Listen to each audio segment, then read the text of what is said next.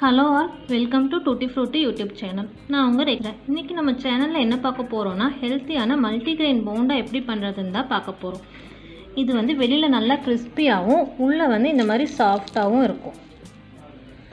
இது எப்படி பண்ணுறதுன்னு பார்க்குறதுக்கு முன்னாடி டூட்டி ஃப்ரூட்டி சேனலை இதான் ஃபஸ்ட் டைம் பார்க்குறீங்கன்னா மறக்காமல் சப்ஸ்கிரைப் பண்ணுங்கள் பக்கத்தில் இருக்கிற பெல் ஐக்கானை கிளிக் பண்ணுங்கள் அப்போ தான் நாங்கள் போடுற வீடியோஸ் உங்களுக்கு நோட்டிஃபிகேஷனில் வரும். வாங்க எப்படி பண்ணுறதுன்னு பார்க்கலாம். இப்போ இந்த போண்டாவுக்கு வந்து நம்ம ஃபஸ்ட்டு ஒரு பவுடர் ரெடி பண்ணிக்கலாம்.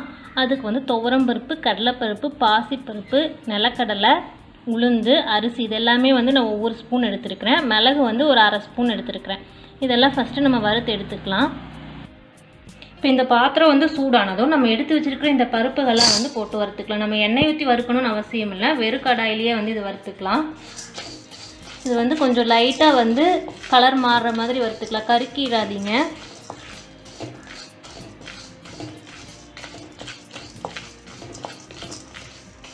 மீடியம் ஃப்ளேமில் வச்சு வந்து இது வறுத்துக்கோங்க. இது லைட்டாக கலர் சேஞ்ச் ஆகும்போது இது கூட ஒரு நாலஞ்சு வரமிளகாவையும் சேர்த்து வறுத்துக்கோங்க. இது கொஞ்சம் நல்லா வறுத்து எடுத்துக்கலாம். இது வறுக்க வறுக்கவே வந்து உங்களுக்கு ஸ்மெல் வந்து நல்லா வரும். அது உங்களுக்கு வறுக்கும் போது தெரியும். அவ்வளோதான் இது கலர் கொஞ்சம் சேஞ்ச் ஆகிடுச்சு இதுக்கு மேலே விட்டிங்கன்னா கருகிரும். இப்போ இது வந்து அடுப்பை ஆஃப் பண்ணிவிட்டு இது கொஞ்சம் ஆறட்டும். இப்போ இது வந்து ஆறிடுச்சு இதை நம்ம வந்து அரைச்சி பவுடர் மாதிரி அரைச்சி எடுத்துக்கலாம். இப்போ இப்படி பவுடர் மாதிரி நம்ம அரைச்சி எடுத்துக்கிட்டோம். இப்போ இது கூட அரைக்கும் போது கொஞ்சம் உப்பு சேர்த்துக்கோங்க. அதை நான் சொல்கிறதுக்கு மறந்துட்டேன். இப்போ இந்த மாதிரி பவுடர் மாதிரி அரைச்சி எடுத்துக்கோங்க. இது ஒரு சைடில் இருக்கட்டும். இப்போ ஒரு வடச்சட்டியில் வந்து நம்ம ரெண்டு ஸ்பூன் ஆயில் ஊற்றிக்கலாம் இந்த ஆயில் வந்து கொஞ்சம் சூடாகட்டும். ஆயில் வந்து கொஞ்சம் சூடாயிருச்சு. இப்போ இதில் வந்து சீரகம் சேர்த்துக்கலாம். இந்த சீரகம் வந்து கொஞ்சம் பொனிஞ்சது இதில் வந்து கடலைப்பருப்பு சேர்த்துக்கலாம். இப்போ இது கூட வெங்காயம். இந்த வெங்காயம் வந்து கொஞ்சம் வணங்கட்டும். இந்த வெங்காயம் வந்து கொஞ்சம் வதங்கினதும் இது கூட ஒரு ஸ்பூன் இஞ்சி பூண்டு விழுது சேர்த்துக்கலாம். இந்த இஞ்சி பூண்டு விழுது வந்து கொஞ்சம் நல்லா வணங்கட்டும். இதோட கொஞ்சம் கருவேப்பிலை. இப்போ இது கூட ஒரு கைப்பிடி அளவு முருங்கைத்தலையை சேர்த்துக்கலாம். சேர்த்துட்டு வணங்கிக்கோங்க. இது கொஞ்சம் நல்லா வணங்கினதும் இது கூட தக்காளி சேர்த்துக்கலாம். இப்போ இதோட வந்து தக்காளி நான் வந்து ஒரு மீடியம் சைஸ் தக்காளியை வந்து கட் பண்ணி வச்சுருக்கேன். அதை வந்து நான் இது கூட சேர்த்துக்கிட்டேன்.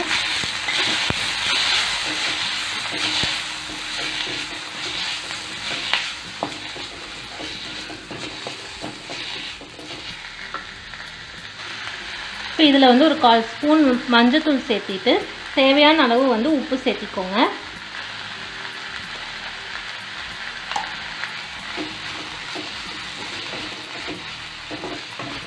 இதில் நீங்கள் வந்து தண்ணியெல்லாம் எதுவும் சேர்த்த வேண்டாம்.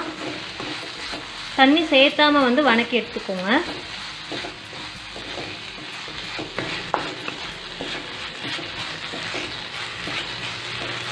இது இப்போ நல்லா வணங்கிருச்சு. இப்போ வந்து ஸ்டவ்வை ஆஃப் பண்ணிடலாம்.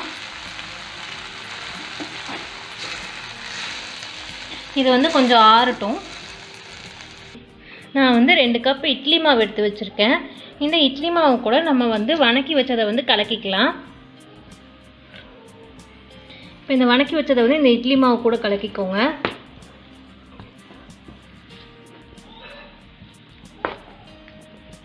இப்போ இது கூட நான் வந்து ஒரு கப் கோதுமை மாவு எடுத்து வச்சுருக்கேன். இந்த ஒரு கப் கோதுமை மாவை வந்து இது கூட கலக்கிக்கலாம்.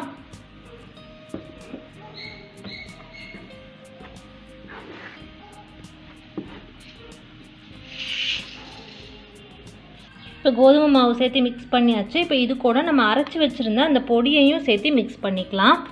நான் இதோட அது ஒரு மூணு டீ ஸ்பூன் போட்டுக்கிறேன். இதையும் இதோட சேர்த்து நல்லா மிக்ஸ் பண்ணிக்கலாம்.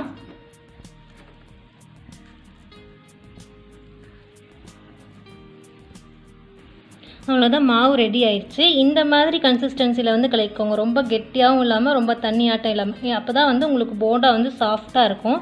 நீங்கள் வந்து ரொம்ப கெட்டியாக வந்து கலந்தீங்கன்னா போண்டா வந்து ஹார்ட் ஆயிரும். அவ்வளோதான் மாவு ரெடி ஆயிடுச்சு. இனி நம்ம வந்து போண்டா சுடலாம்.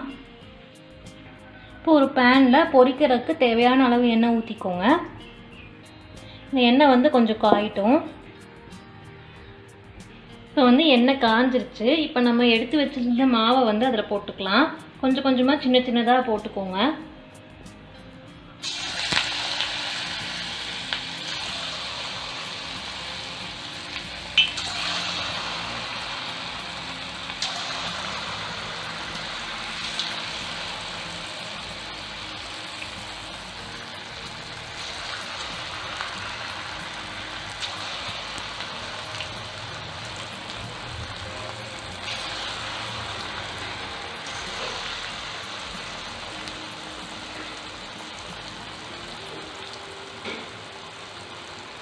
இப்போ இந்த மாதிரி நல்லா பொரிஞ்சதும் எடுத்துக்கலாம்.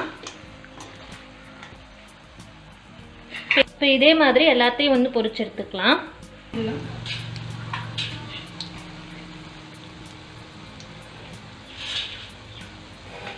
அவ்வளோதான் நம்ம போண்டா வந்து ரெடி ஆயிடுச்சு.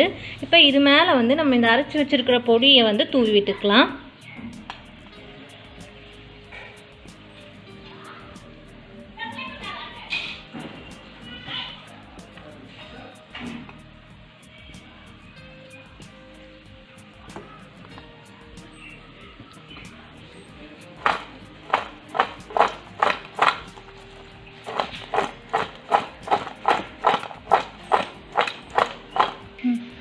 நீங்கள் இதுக்கு தனியாக வந்து சைடு டிஷ் எதுவும் வைக்க வேண்டியதில்லை. இந்த பொடியே மேலே தூவி விட்டு இதுக்குள்ளேயே அந்த பொடியெல்லாம் மசாலா இதெல்லாம் இருக்கிறனால டேஸ்ட் வந்து டிஃப்ரெண்ட்டாக இருக்கும்.